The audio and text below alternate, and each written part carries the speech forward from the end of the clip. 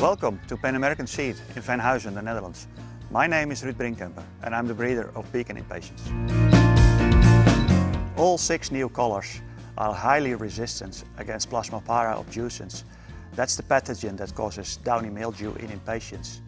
Beacon gives you the opportunity to bring back this popular and well-known garden plant for both the consumer and the grower. Beacon plant structure, flower size and timing is very similar to our current Super Elfin series. So it's relatively easy to incorporate this in your production planning. And with the new color, we'll bring to you next year Beacon Rose, we can say impatiens are back.